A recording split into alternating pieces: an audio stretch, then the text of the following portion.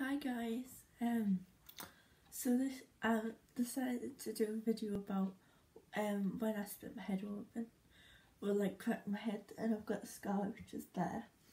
Um, so like I just woke up because um I'm going out with my friend today at twelve, so yeah. but um, anyway, so like when I it was in oh yeah 2010 yeah 2010 and I was nine. So um what happened was is I was at my grandma's house because my mum and dad went away. So they I used to go to my grandma's house in the morning and they used to take us to school. And this was when I was at my first school. They were like my old school.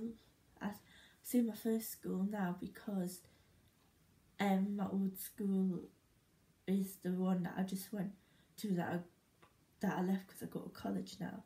So um, like my granddad was doing was um doing decorating in the house, and so I was helping them pull the wallpaper off, and I was wearing my grandma's slippers because I used to like wearing her slippers. Um, but I needed to wash my hands because it was time for sc- school and well, it was time to get us ready to get ready, so I had to wash my hands.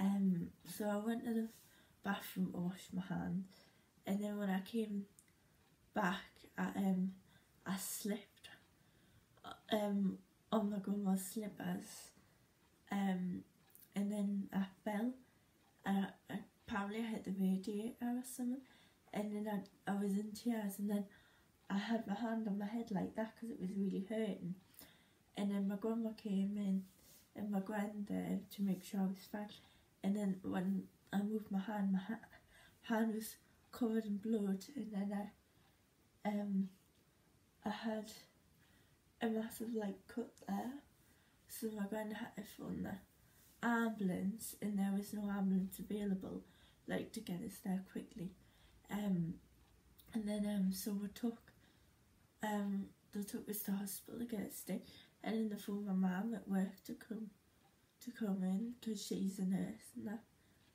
to us. So they told my mum, which is a nurse, and um, that like they told my mum at work, and then she came and saw us because she worked at that hospital. So she came, she asked if she could come and see us, but it was horrible, and I, I couldn't stop be, uh, being tears, and that was it was horrible, yeah. And then it hurt, very painful. It was weird getting stitches in your head. Mm so and I was just nine as well.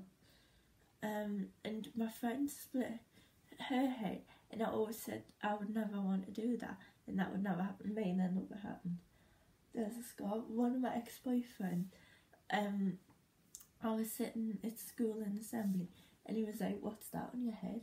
And he was like touching it, and I was like, "I've, I split my head when I was like nine. That's it for this video. Bye.